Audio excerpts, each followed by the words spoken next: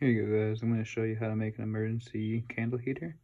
First you're going to take any can, just using a Coors Light can here.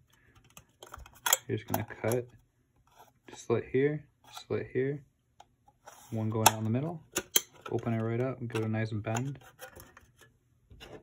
Then you just take your candle, whatever candle you got, get the stick in there, light it, and it'll reflect the heat back at you.